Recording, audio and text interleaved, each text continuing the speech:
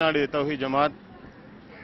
பொள்ளாச்சியில பாலியல் பலாத்காரத்தில் ஈடுபட்ட மனித மிருகங்களை உடனடியாக விசாரித்து தூக்கிலே போட வேண்டும் என்கின்ற கோரிக்கையை வலியுறுத்தி ஆயிரக்கணக்கான மக்களை திரட்டி இங்கே ஜமாத்தினுடைய சார்பாக கண்டன ஆர்ப்பாட்டத்தை நாங்கள் நடத்தி கொண்டிருக்கின்றோம்.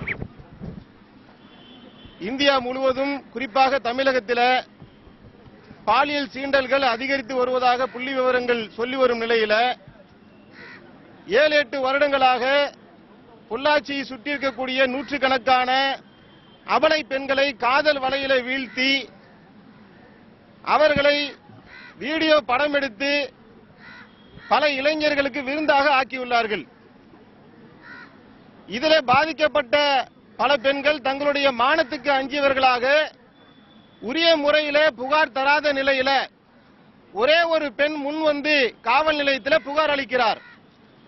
அப்படி புகார் அளித்த அந்த பெண்ணுடைய பெயரையும் அவருடைய வீடியோவையும் சமூக வலைதளத்திலே காவல்துறையினர் வெளியிட்டிருக்கின்றார்கள். குறிப்பாக இதற்கு பொறுப்பேற்றுள்ள எஸ்பி பாண்டியராஜன் அவர்கள் அந்த பெண்ணுடைய பெயரை வெளியிட்டுவிட்டு சர்வசாதாரணமாக மன்னிப்பு கேட்கின்றார். பாண்டிய பாண்டியராஜனுடைய இந்த செயல் கடுமையாக கண்டிக்கத்தக்கது. ஏனென்று சொன்னால் இந்த குற்றங்களுக்கு பின்னணியில் இருக்கக்கூடிய கயவர்கள் தப்பித்துக் கொள்வதற்காக அவர் மறைமுகமான ஒரு சிம்டம்ஸை இங்கே வெளியிட்டிருக்கிறார். ஏனென்று சொன்னால் அவர் சந்தித்த பத்திரிகையாளர் சந்திப்பில் இதில் எந்த விதமான அரசியல் தலையீடும் இல்லை என்று இவராக எங்க அப்பன் குதிரைக்குள்ள இல்லைங்கிற மாதிரியான டைப்ல இவர் பேட்டி அளித்திருக்கிறார். எஸ்பி பாண்டியராஜனுக்கு அரசியல் தலையீடு இல்லை என்பது புகார் அளித்த சில தினங்களிலேயே எப்படி தெரிய வந்தது? அப்ப இதுல கண்டிப்பாக அரசியல் சதி இருக்கின்றது என்பதை நம்மால் உறுதியாக சொல்ல முடிகின்றது. இரண்டாவதாக இந்த பாலியல் சீண்டலுக்கு உள்ளான பெண்கள் மனம் வந்து கா- காவல்துறையில தைரியமாக புகார் அளிப்பதற்கான வாசலை காவல்துறையினர் அடைத்துள்ளனர். நாம் போய் புகார் அளித்தால் நம்முடைய பெயரும் நம்முடைய வீடியோவும் சமூக வலைதளத்தில் வெளிவந்து குடும்பத்தோடு நாம் தற்கொலை செய்து கொள்ளக்கூடிய நிலை ஏற்படும் என்ற அச்சத்தை தான் காவல்துறையினர் ஏற்படுத்தி இருக்கின்றார்கள் எனவே தமிழ்நாடு தவி ஜமாத்துடைய சார்பாக நாங்கள் வைக்கின்ற கோரிக்கை இப்ப இந்த வழக்க சிபிஐ விசம் தமிழக அரசு வந்து ஒப்படைத்திருக்கின்றது. உடனடியாக விசாரித்து உண்மை குற்றவாளிகளை காலம் தாழ்த்தாமல் தூக்கில இட வேண்டும். இந்த கோரிக்கை தான் மக்களுடைய மனநிலையாகவும் இருக்கின்றது. இதே கோவையில முஸ்கான் என்ற பதினோரு வயது சிறுமி பாலியல் பலாத்காரம் செய்து கொலை செய்யப்பட்ட நேரத்தில் சைலேந்திர பாபு அவர்கள் என்கவுண்டர் போடுகின்றார். அந்த சந்தர்ப்ப அந்த சந்தர்ப்பத்தில் கோவையில் இருக்கக்கூடிய மக்கள் எல்லாம் இனிப்பு கொடுத்து கொண்டாடினார்கள். இன்றைக்கும் அதே கொதிநிலை கொதிநிலையில் தான் தமிழக மக்கள் இருக்கின்றார்கள்.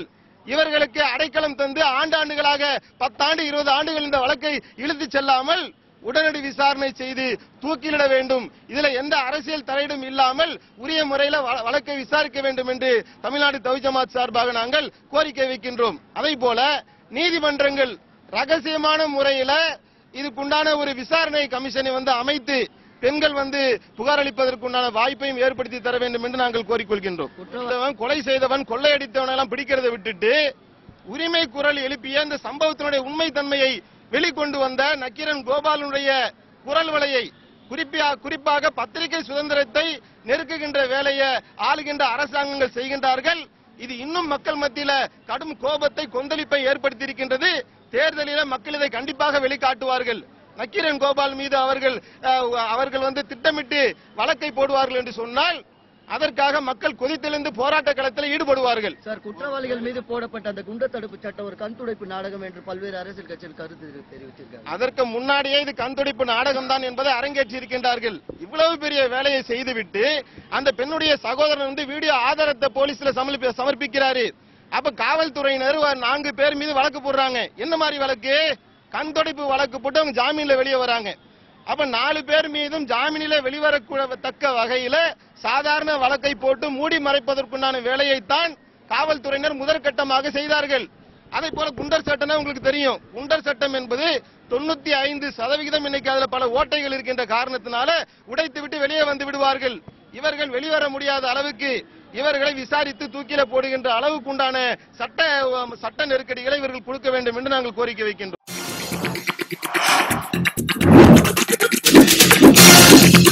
you.